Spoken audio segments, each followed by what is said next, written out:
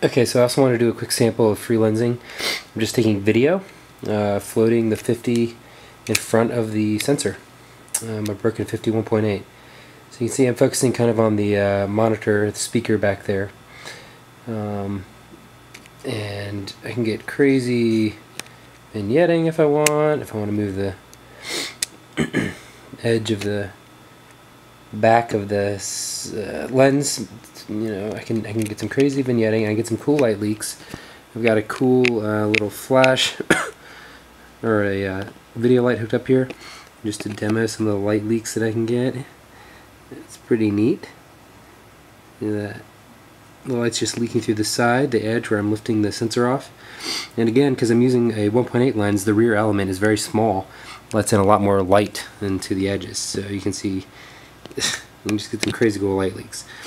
And uh, a little bit of practice and stuff, you'll learn how to be able to get light leaks and get things in focus at the same time.